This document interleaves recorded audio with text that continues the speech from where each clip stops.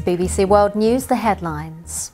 A court in South Korea has found the vice chairman of the technology giant Samsung guilty of paying a bribe to a close friend of former President Park Geun-hye in the hope of government favours.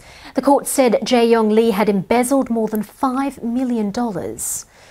Thailand's Supreme Court has postponed its verdict in the trial of the former Prime Minister Yingluck Shinawatra after she failed to appear in court. The judges in Bangkok issued a warrant for her arrest, saying they didn't believe her claim that she was ill. America's Gulf Coast is preparing for the onslaught of Hurricane Harvey. It's expected to hit the coast of Louisiana and Texas later on Friday, with winds of up to 140 kilometres an hour. A woman in Massachusetts has won the biggest single ticket prize in US lottery history. The check is for more than $750 million.